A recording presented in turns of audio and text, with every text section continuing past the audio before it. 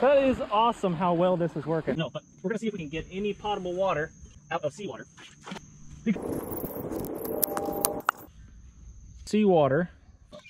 You could do this with fire. However, fire is illegal on this island. For demonstration purpose, I think we can get the idea. And we have just created hillbilly still tube from my CamelBak, pulled off the ends.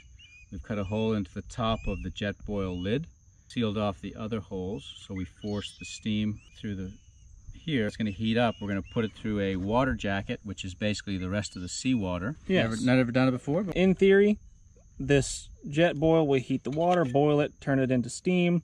Steam will go through the straw, run through Coolant. cold water, cold water, seawater, and then drip into our cup. There's some water. Lots of water just came out of that as soon as you did that.